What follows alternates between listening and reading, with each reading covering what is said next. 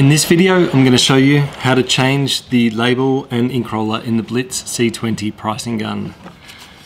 So the first step is to open the top lid by pressing in the two sides of the lid and opening it up. To open up the bottom of the gun, you pull these two sliders on either side down and then you use your finger in here to open up the base plate. That should leave you with a hole straight through the middle of the gun. That's the hole our labels are going to go through.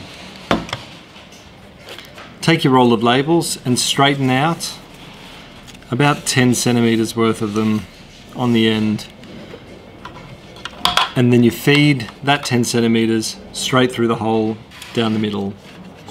The roll of labels should drop down and you can close the lid.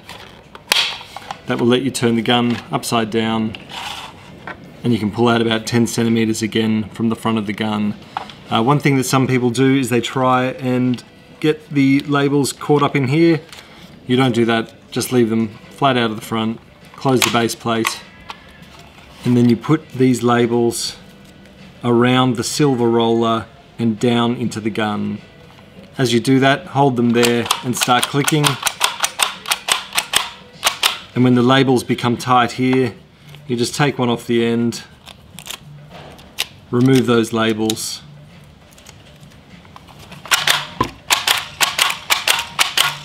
click a few out, and you'll have your label all set up and ready to go.